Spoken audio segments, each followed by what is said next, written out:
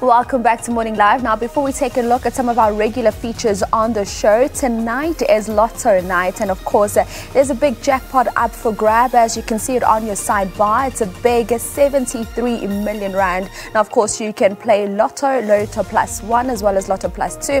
And who knows, today could be your day and you could just walk away with your portion of that 73 million Rand. All right, but moving on now into our regular features right here on the show. I am, of course, on the main news desk with SK. And uh, SK, we're going to take a look at the question of the day. Indeed, let's do that. Uh, so, uh, of course, today um, the commemoration of what happened at Marikana 11 years ago. Uh, that's what our question centers around. So let's take a look at that. Uh, we're asking you um, 11 years after the Marikana massacre, has there been any significant change, do you believe, to improve the lives of the mine workers and their families uh, and the community, of course, around that mining facility? Let us know your thoughts at Morning Live SABC. And we love uh, those voice notes, so send us those short, sharp, to the point on 078459. 1897. Just give us your name and then just get to the point as succinctly as you can. Uh, we uh, certainly will be sharing a lot of those, as many as we can throughout the course of Morning Live. Yes, those voice notes, absolutely my favorite right here on the show. But let's now take a look at some of your trending topics this morning on social media, on Twitter or X, however you would like to call it. Yeah. I, am still struggling with X, you know, like me um, too. so, so, uh, and maybe I should make time to go and look at this. Is it now officially? Of course, the um, the tweet, uh, yes. uh, the, the, the, Bird. birdie is gone. Yes, and they sold off all of that stuff because I saw when they were saying they um, had an auction mm-hmm. to sell off all of the bird related merchandise and everything that they had in their offices. So I think the, bir- the bird is dead. No, the bird is dead. But do we now officially, do we still refer to it as Twitter or is it now X? I would just say it's X. I, am still Let's struggling. Call it Twitter X. you see, now we're starting something new. Okay, X. Um, so we'll wait for your comments on X at yes. uh, Morning Live SABC. All right, let's take a look at those uh, tweets now and uh, the, the, the training topics. But so okay, but what do we call them here. when it's an X? Do we call them? Let's take a look at the X's, or are we still looking at tweets? I I don't know, but all the same. Uh, here are your top trending topics. So first up, hashtag Mshololo, who's of course um, a defense attorney for one of the accused in the Senzo Meyiwa murder trial. And uh, yesterday, in a cross-examining the state witness, um, Officer Mthethwa, mm. um, Zandile Mshololo really was not letting up and uh, basically got him to concede mm. that the crime scene was not cordoned off it was left unattended. Mm. So uh, there could have been all sorts of tampering that could have taken place on mm. that crime scene. And essentially, making and driving home the yeah. point and that the police were derelict. She stood duty. her ground because I know at some point the judge wanted to interject and come in, and she was like, she "I need to get it. this point across." Yeah, and, and, and, and, and that was quite a strong interaction mm. with the judge as well. Uh, but uh, yeah, Zandile Mshololo, uh, many people talking about that. And of course, that cross examination continues today in mm. the Pretoria High Court. All right, and then taking a look at our second trending topic, hashtag dreadlocks. I used to have dreadlocks, but um, SK, I'll leave this one to you. so uh, there's this is the latest in the hair saga. You know, once again, children at school and hair. Uh, this time at um, a Christian academy in Midrand, uh, here in Gauteng.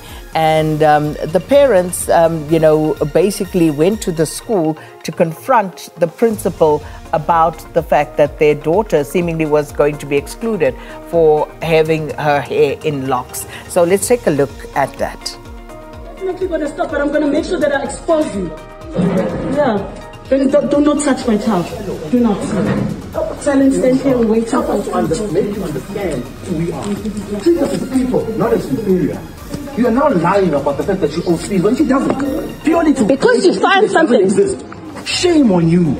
And then you lie and say you're a Christian. You are lying. You've got no politeness, you've got no kindness in your heart. You've got no empathy for nothing.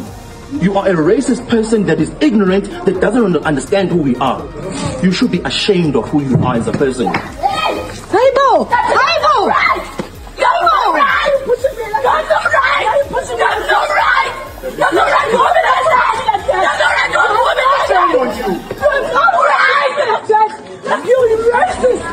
You racist! You have no right to pussy like that! You have no right! Fucking racist! You have no right to push me wow. like that. Wow. You wow. have no right to push me like that. Wow. No, no, no, Dad, take your bag. Take your bag. It's fine. Go and take your bag. Go and take your bag. So uh, this is something that was uploaded on Twitter yesterday, an incident that took place at a Christian private school in Midrand.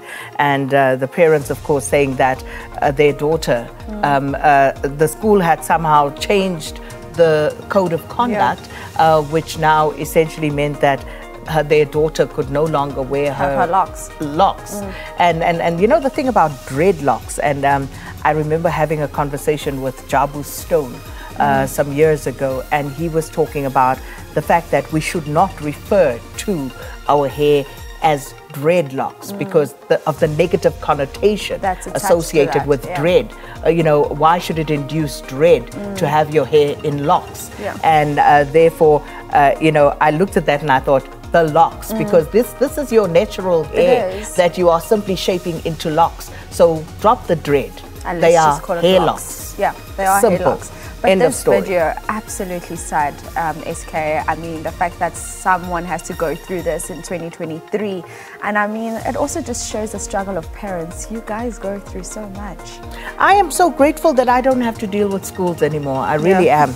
But but but a very unfortunate incident there, and it's going to be interesting to see how this Hmm. develops further. But again, um, black women, black children, and the hair struggle Hmm. seems to continue. It does continue. All right, the next trending topic that we're looking at this morning is hashtag Northwest. And of course, as alluded to earlier on in the news, um, today is, of course, 11 years since the Marikana massacre took place. Indeed. So um, the Northwest trending for that reason, but uh, there's also another reason, and, and I picked this up. Um, on some of the other threads uh, around Northwest, and I'm just trying to, um, you know, find it. But just from memory, um, there was a thread about the um, unemployment statistics. And Northwest seems to be at the highest end of that with over 50% unemployment. So that is something that also caught people's attention. And Yeah. then there was a whole discussion about uh, some of the contributing factors to that high unemployment And rate in the Northwest statistics province. came out um, was it yesterday, Yesterday, and yeah. I mean there was of course a little bit of a drop. drop. but most of those jobs now coming in in the mining sector, which is a bit sad as well because this is a sector that you would expect to be doing so much better uh, in South Africa. Yeah, So it's- indeed. But but but you know the, the mining sector has been one of those who have literally been uh, carrying uh, the country as it back. were. So uh, even through the COVID years, so. It's, it's, it's, we need to find a solution to the unemployment uh, crisis in the country. We need to grow this economy, and it isn't rocket science, but why we haven't been able to do it, yeah. All right, that we look forward to that. Our final trending topic for this morning hashtag Pirates. Um, now, this one is very interesting. So, firstly, Pirates playing out to a 1 0 draw against Chippa United. So, Chippa having gotten a point out of both Soweto Giants. Um, and also that whole poll situation that I saw on social media.